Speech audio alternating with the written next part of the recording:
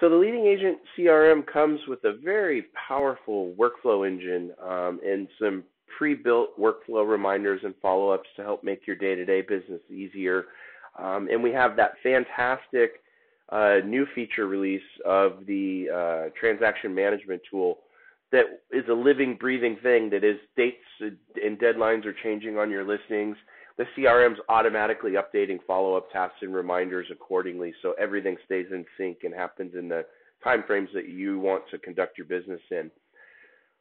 Even though those are both fantastic tools, sometimes really all you want is just a checklist. And some of these checklists are things that you'll find you're doing over and over and over. So for instance, maybe maybe you have a new uh, you have a listing for a new listing coming up and you have a checklist of things that you do for every single new listing. Now, rather than have to assign the tasks over and over and over to different teammates and make it from scratch all the way through every single time, we have a way that you can do that easily and simply, and it's it's using what we call action plans.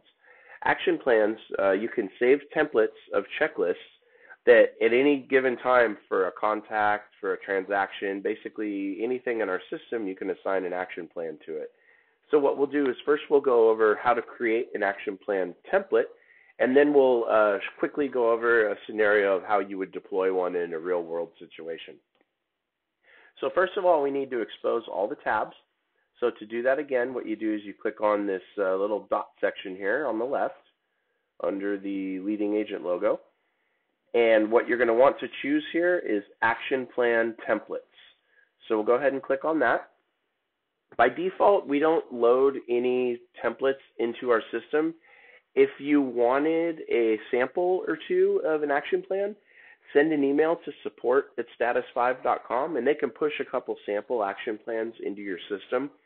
The reason we don't preload them though is because everybody has different checklists for different things, and there's there's no universal right way to do this. So it just seemed uh, kind of pointless. Um, but what we can do, let's let's create a new one. So let's click new, and we'll call this our pre-listing checklist.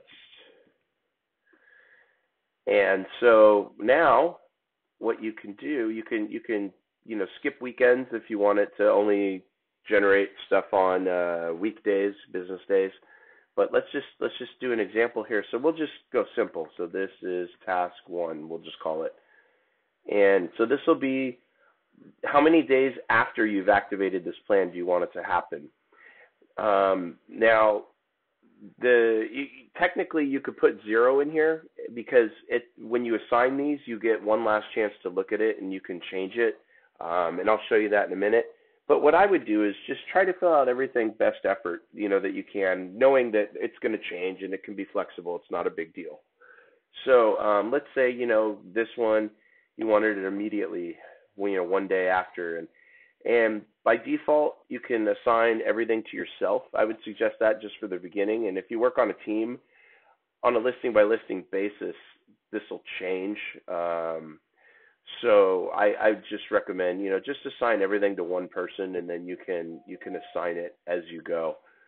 Um, for categories, we've got some basic ones in here. You can customize them. Um, if you're looking to customize fields, just uh, go to the video on how to add or edit fields, and it'll it'll detail exactly how to do that. Um, so let's just say it's an email, and we'll just give it a high priority. And so you can have it send a reminder email, um, also, send a pop up reminder, and you can even add any comments to the task. So, um, you know, these are the rules to this task, or, you know, what, whatever. Don't forget XYZ. Um, so now that we've got that one, we can click next. And so we could say, like, this is task two.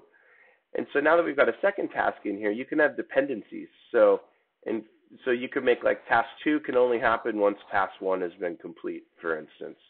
Um, in this case, let's don't do that. Let's just say um, we're just going to call it a meeting, medium, and we'll send the reminders. And then we'll just make one more quick one for illustration purposes.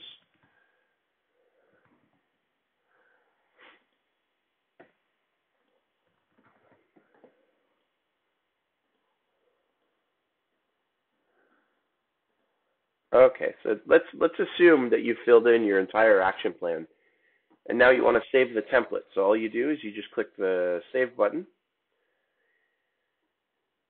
and now you've got your template. So what you can do is the next time you have a listing and you want to uh, assign an action plan, you've you've got this ready. So again, you know, you do the same list of things preparing every listing. So why constantly fill out all the tasks to assign from scratch every time when you can have something to make life easier? And and let's show you. We'll click on seller transaction here, and let's show you exactly how much easier this is. So if you click on a listing, so let's say we just got this listing uh, into the system, and now we want to assign the action plan. All you have to do, click on this little triangle here on the right of the screen, and choose Create Action Plan. It's going to take you to your list of templates. In this case, we only have one, um, but if you had multiple, they'd all be here. And so what you'll do is you'll click on the template, so pre-listing checklist in this case. And here's the neatest thing. We know that real estate is something that changes constantly. Um, nothing's ever the same. And oops, accidentally hit refresh. We know one thing about real estate is it always is changing and never stays the same. So what we've done is we've given you the option to look at this in edit mode one last time. You could make any changes to this. So like for instance, maybe the first task really now you want two days out. The beauty of it is when you make these changes, it's only changing it this one time. It's not changing the, the whole template. Um, so so that's a really great feature because that way you can really customize this. For instance, maybe maybe task two here only applies if it's a condo and this happens to be a single family home. So then you could just click this X, it just deletes it. You could go through and you could assign them to different people, basically, you know, get it all the way you want it. And then when you click save, it's going to auto generate those tasks. So now if we go back to our transactions,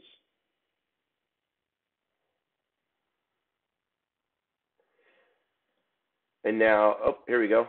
So you see we have an upcoming task, and it's this one's flagged for a, a notification. Let's do the 15th. One's due the 18th. So you can see um, that's nice. It just pre-fills everything out.